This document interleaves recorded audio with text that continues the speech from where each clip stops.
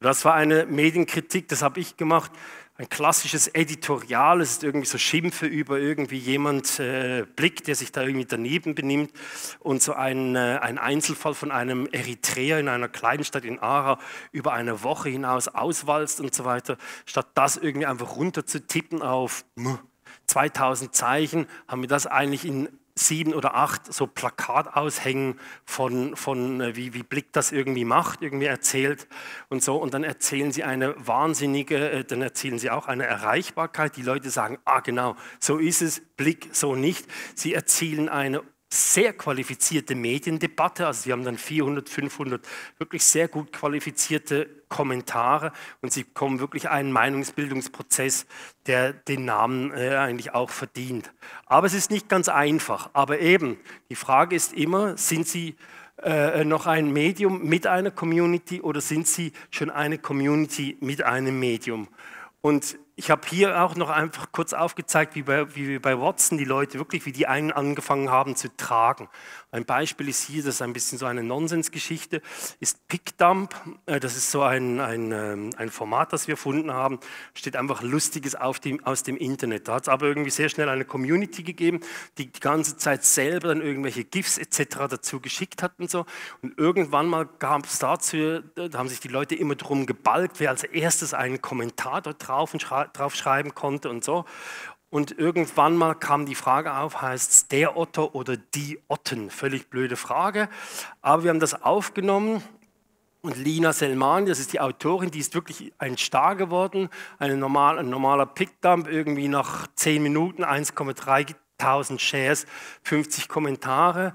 Die Leute irgendwie äh, geben ihr, ihr Gefallen laufend kund und so weiter. Und dann kam die Frage, wie heißt es eigentlich, der Otto oder die Otten?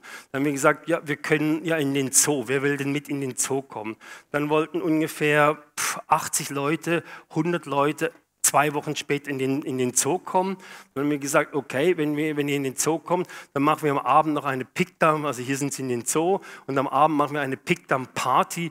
Und an dieser Party musste man nach 500 Leuten eigentlich sagen, okay, jetzt ist es zu, keiner kann mehr rein. Und jeder, der kam, musste aber die App runterladen. Das war bei der Lancierungsphase von Watson. Aber das sind alles totale Fans, die, diese Lina äh, äh, wirklich unterstützten mit Sachen, die sie sehen. Das sind Contributors geworden und so weiter. Und das ist so etwas ist sehr ausbaufähig. Ja?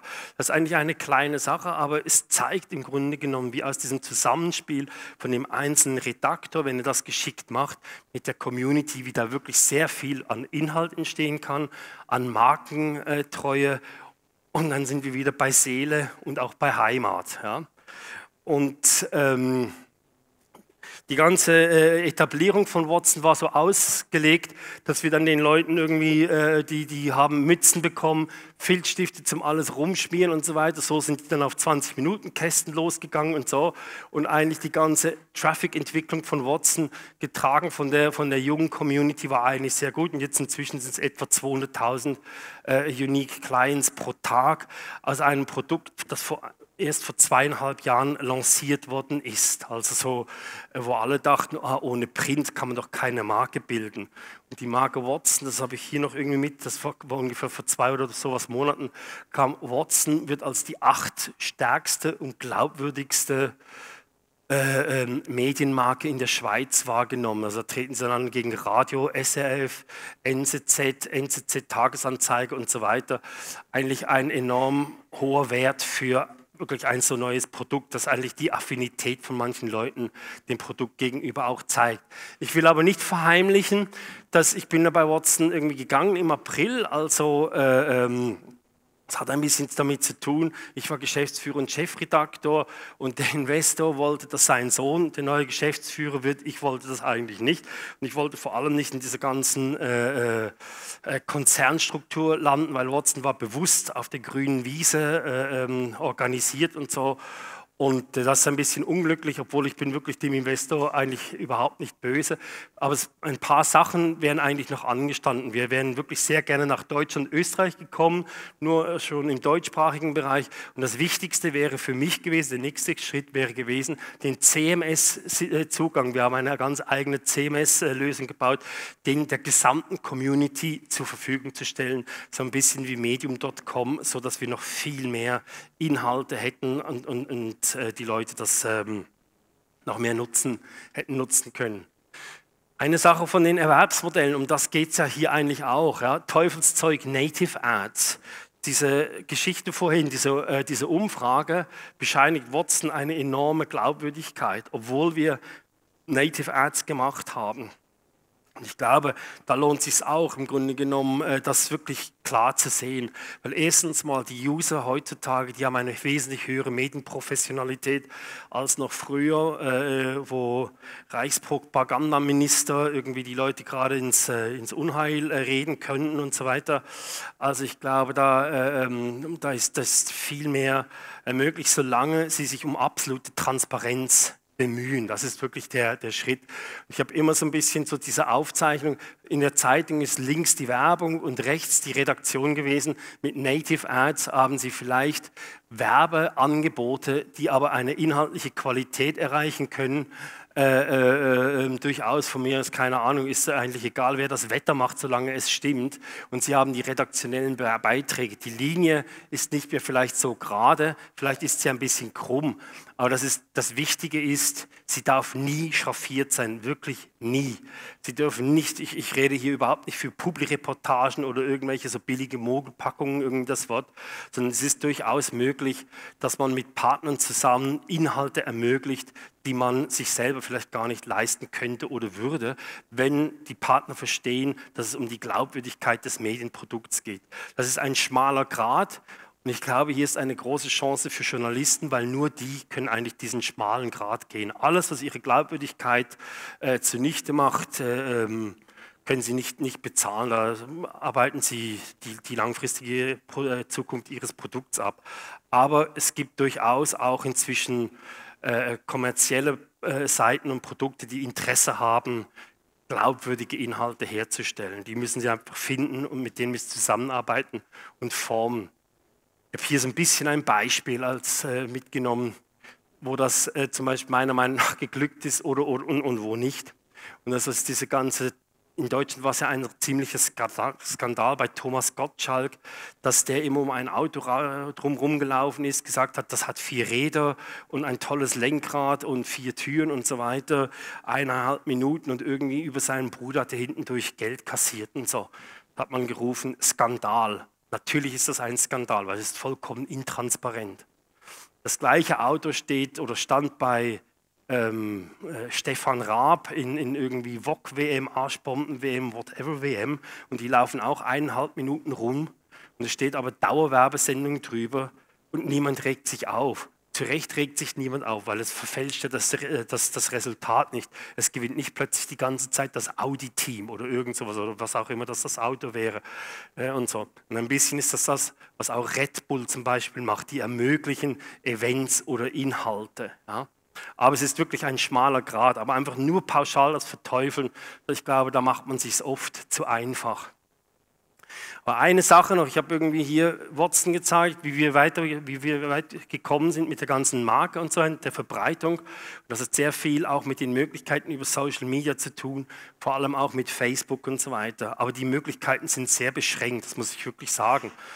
Weil in den Zeiten, in den zwei Jahren, zweieinhalb Jahren nur schon Watson, wo wir aus dem Null, aus dem Nichts kamen und dann über Social Media hast du deine Inhalte zu den Leuten gebracht, was sehr wichtig ist. Weil mit jedem Inhalt kam ein Stück Watson als Botschaft mit und die ganze Markengeschichte. Äh, aber in der Zeit hat einfach Facebook ungefähr 19 Mal irgendwelche äh, äh, äh, ähm, Paradigmen, äh, geendet und so weiter. Und es ist wirklich so, ich habe hier ein Bild von einem Schnellzug genommen, das wäre halt einfach irgendein Medienprodukt, das man entwickeln will. Und im Hintergrund sehen, die, sehen Sie die Schienen. Das ist eine Partnerschaft, wenn Sie die mit Facebook eingehen, dass Sie mit jemandem, der alle, alle drei Monate die Schienenbreite wechselt, ja, und Sie wollen da irgendwie einen, einen Bahnbetrieb aufrechterhalten. Das ist ein wirklich unzuverlässiger Partner. Das ist ein großes Problem, außer Sie sind wirklich preferred bei, bei äh, Facebook dabei, wie BuzzFeed oder so etwas. Aber das ist schon äh, ähm, eine sehr unglückliche Sache. Also das, äh, ähm, und es ist in den ganzen Debatten, wie wir jetzt hier über diese ganze Medienzukunft sprechen und so weiter, dass da äh, die großen amerikanischen Netzwerke wie Facebook nie am Tisch sitzen, ist eigentlich, äh, ist eigentlich eine unglaubliche Geschichte. Aber trotzdem, jetzt komme ich hier zum zuversichtlichen Teil.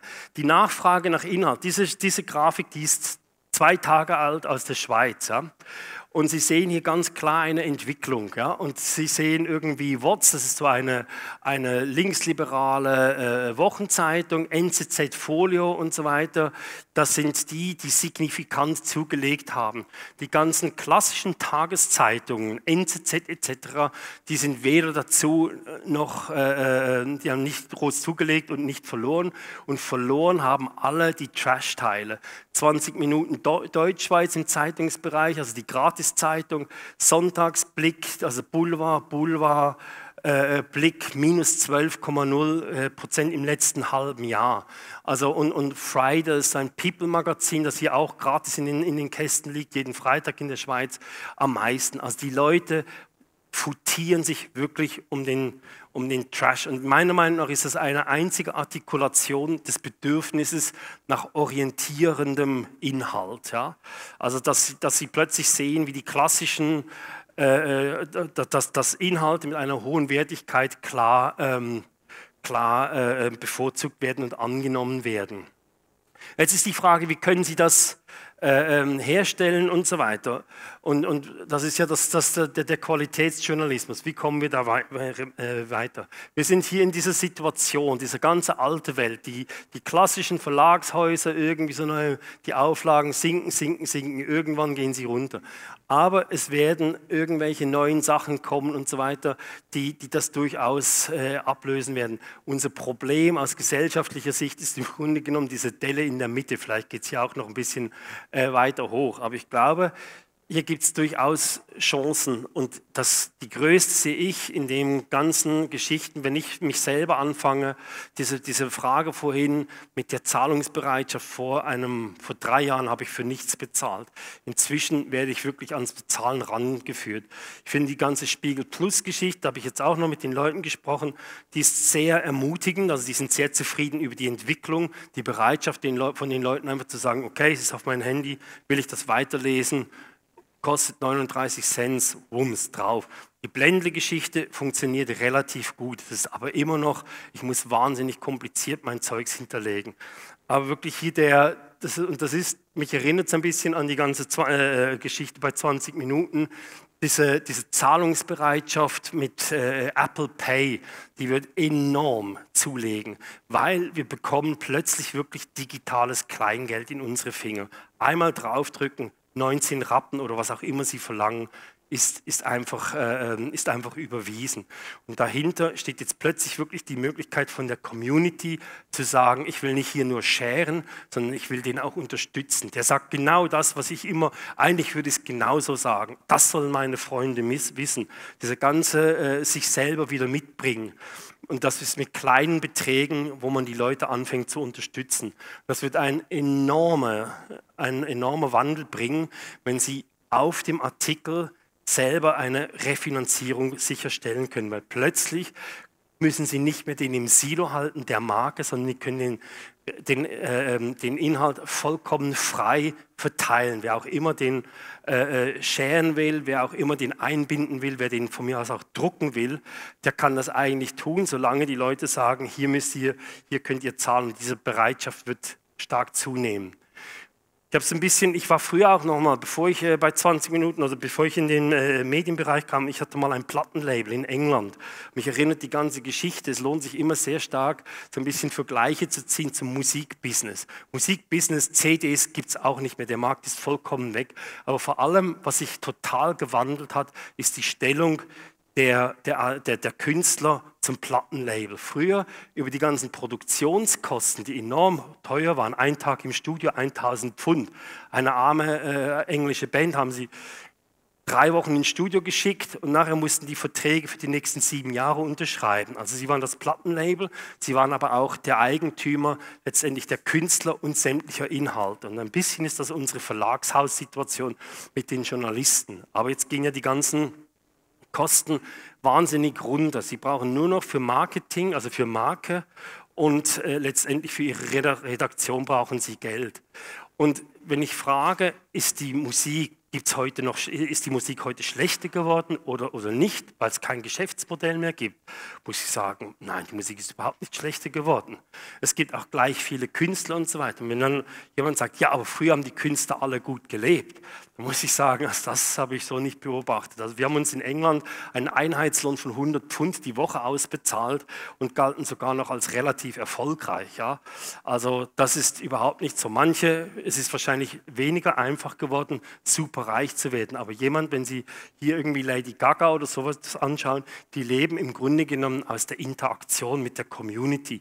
Sie machen das selber alle auch, wenn Sie zum Beispiel sehen, oder ich gehe oft irgendwie an Konzerte, kleine Konzerte, ich habe nicht mal mehr einen CD-Player, ich kaufe manchmal trotzdem eine CD, nur schon um den Künstler zu unterstützen und so. Und am Schluss lege ich die dann irgendwo hin. Und die leben von T-Shirts und von Live-Auftritten, aber letztendlich eins zu eins bei ihrer Community, von den Plattenlabeln und dieser ganzen komplizierten Geschichte leben die nicht mehr. Aber jeder kann heute eine, eine äh, Musik aufnehmen für ein paar hundert äh, Euro oder so. Das ist überhaupt kein Problem mehr. Also das Angebot, das wird nicht kleiner werden. Und jetzt habe ich mal die Situation angeschaut, irgendwie so zusammenfassend. Wir haben neue Medienfunktionsweisen. Wir haben aber ein Bedürfnis nach glaubwürdigen Stimmen. Wir haben die alten Player, die sich um die Zukunft plagen, die sie aber eigentlich gar nicht mehr haben, reagieren mit zentralistischem Denken statt dezentralen Funktionsweisen. Wir haben äh, äh, ähm, diese ganze Dezentralisierung, die gerade die Tradition, die analogen Modelle obsolet äh, macht. Es gibt aber ein Bedürfnis nach Information, die Nachfrage wird direkt zum Angebot und umgekehrt finden und wir werden keine kleinen zentralen Taxiunternehmen mehr haben oder, oder Regionalzeitungen und so weiter, sondern es findet alles auf letztendlich Plattformen statt, wo ich die Inhalte nehmen kann. Ähm, das Wichtigste finde ich, äh, ähm, Moment, das ist eigentlich eine Verdopplung. Äh, wenn ich jetzt das ein Medium der Zukunft bauen muss also, und diese ganze Qualitätsjournalismusdebatte ein bisschen versuche aufzunehmen, dann kann ich ja aber auch sagen, die Grenzkosten sind fast weg. Distribution und Druck äh, waren die Kostenmauern des Verlagsgeschäfts, also die muss ich nicht mehr irgendwie beachten.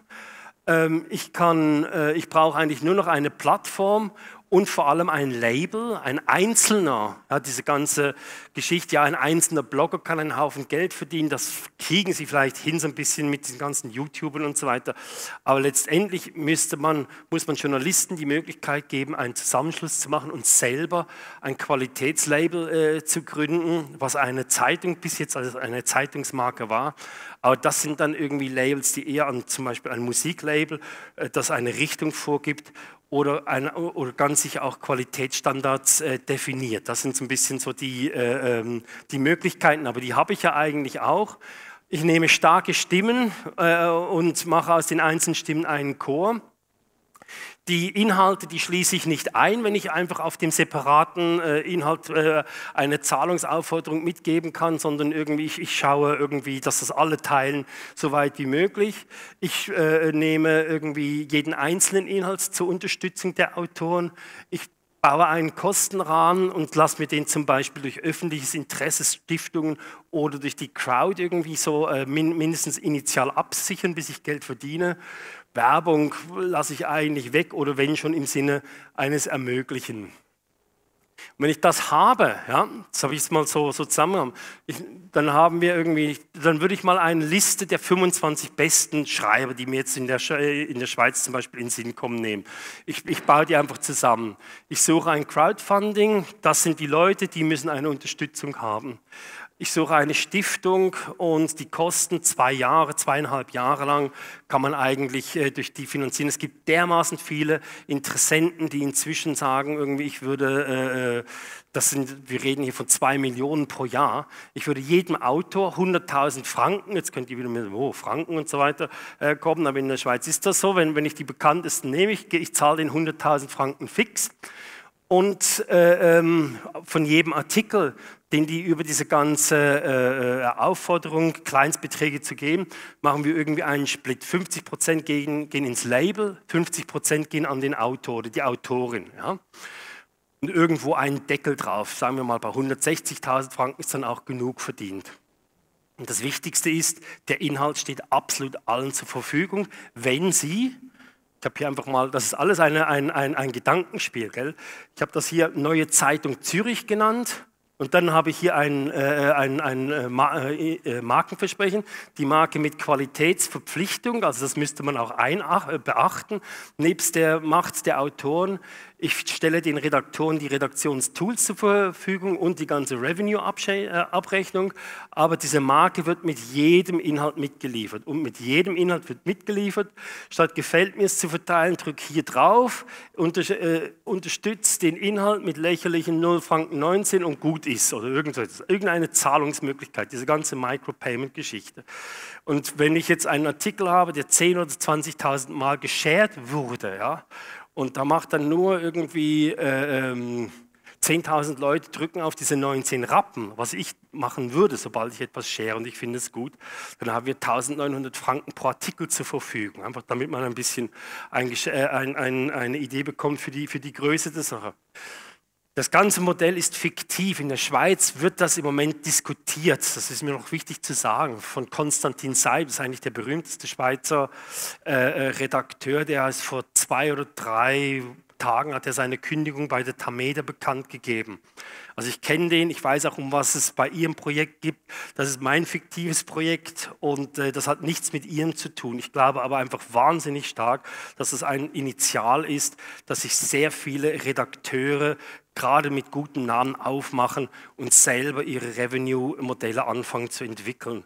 Und die klassischen Verlagshäuser tun wirklich sehr gut dran, äh, äh, sich um diese, diese Talente zu prügeln, weil die machen sich auf. Und wenn das in der Schweiz funktioniert, dann dauert es ja bestimmt nicht lange, dass es in Deutschland auch Nachahmer findet und, äh, und so. Und der Name, die neue NZZ, äh, die neue ZZ, die neue Zeitung Zürich ist nicht ganz zufällig gewählt, weil ich glaube, es ist wirklich aus inhaltlicher Sicht, es ist ähm, Gründerzeit. Vielen Dank.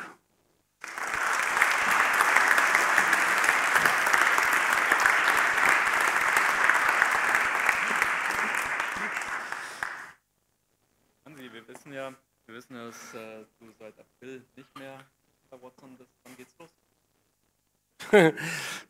Nein, es sind, es sind wirklich so ähm, Sachen, die ich mir jetzt überlege. Ich habe wirklich jetzt das Privileg, ähm, ich habe so, so, so ein paar Projekte, die ich mir genauer anschaue. Aber ähm, erstens mal nach zwölf Jahren Online-Journalismus ganz vorneweg ist sicher gut, eine Pause zu machen und sich auch so ein paar, ähm, das Privileg zu haben, wirklich grundsätzliche Gedanken äh, zu machen. Ich ich bin, ich bin bei der Sache jetzt wirklich nicht dabei, aber ich glaube, da werden andere Sachen äh, folgen und ähm, dann bin ich irgendwann wieder dabei. Wir merken uns dieses Datum, diesen Tag und was er gerade gesagt hat, wenn wir irgendwann mal die Medien Bulletins schauen und seinen Namen plötzlich wiedersehen. Ähm, jetzt aber die Fragen äh, an, an Hansi, bitte. Ich bin mir ziemlich sicher, ihr explodiert.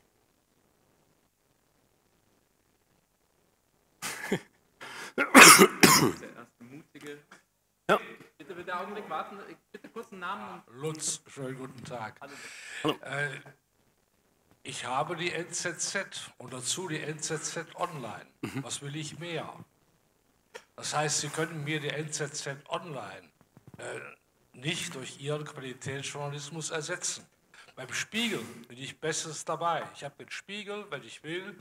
Und wenn ich den Spiegel nicht als Paper will, dann gehe ich äh, rein. Ich habe den Artikel, muss ich meinen Artikel bezahlen, kostet so viel wie der Spiegel. Gehe ich in das Archiv, bezahle ich gar nichts mehr. Also es gibt zwei Modelle, die bereits da funktionieren. Andere Zeitungen haben sehr schlechte Modelle. Da kann man sehr viel verbessern. Also die Zeit ist nichts, die Welt ist nichts, die Wirtschaftswoche ist nichts in der Online-Angelegenheit. Aber was wollen Sie mit Ihrem Qualitätsjournalismus? In welches Feld wollen Sie? Welche Audience wollen Sie erreichen gegenüber dem, was da ist? Also ich glaube, man, also es ist letztendlich das Bedürfnis an Qualitätsjournalismus, das haben nicht nur ähm, ältere Semester wie wir, sondern das fängt auch an bei äh, Jüngeren und so weiter. Die wollen sich an Debatten beteiligen und die wollen verlässliche äh, ähm, äh, Quellen. Ja. Jetzt ist irgendwie die NZZ hat natürlich auch eine Botschaft, die, sie, die, die schwer zu vermitteln ist. Und das ist, wenn ihr das alles hier verstehen wollt, dann gibt es zuerst mal einen Haufen Arbeit. Und ich glaube, die NZZ tut sich wahnsinnig schwer damit, junge Leute in dem Sinne zu, äh, zu erreichen, die durchaus die inhaltlichen Ansprüche haben. Also die NZZ hat ein Problem mit dem Storytelling, meiner Meinung nach. Ja. Und äh, wenn Sie die Inhalte aber so vermitteln, dass die äh, genauso gehaltvoll, aber vielleicht ein bisschen äh, vermittelbarer sind, dann, ähm, dann erreichen Sie äh, Leute. Ich glaube, es geht darum, junge Leute zu erreichen, die sich an Debatten wirklich beteiligen wollen und eine gewisse äh, ähm, Kompetenz vermittelt äh, bekommen. Ich glaube, da tut sich die NZZ relativ schwer, tut sich die Zeit meiner Meinung nach fast leichter ich, bin nicht so skeptisch. Ich finde auch zum Beispiel die Zeit ist ein sehr ermutigendes Beispiel, weil wie auch immer sie es machen, die sind anders, die setzen konstant auf ihre Qualitätsgeschichten oder ihren Anspruch, biedern sich meiner Meinung nach nicht an und erreichen zum Beispiel gerade auch ein recht gutes Jugendpublikum, also durchaus. Also, aber die Frage, ja, ich habe ja die NZZ schon, was, was wollen Sie noch mehr? Wenn Sie die NZZ haben, dann, dann haben Sie ja schon mal was. Ja? Ich glaube, das darf man sich eigentlich auch nicht so fragen. Aber von denen, von dem, also wir haben einen riesen Gap von Leuten, die jetzt 20, 30 sind und so weiter und irgendwann mal also in, in, in andere Publikationen rein wollen und so weiter. Die werden, das, die werden das suchen und was finden die. Ob die die NZZ dann auch alle finden, habe ich so meine Zweifel. Aber ich glaube, da, da ist ein Feld, das zu bestellen ist. Vielen Dank, Lutz. Jetzt noch zwei Fragen machen wir noch mit Blick auf die Uhr. Da hatte sich hinten jemand gemeldet, bitte ganz hinten in der letzten Reihe bei dem blauen Licht. Kurze Namen bitte noch.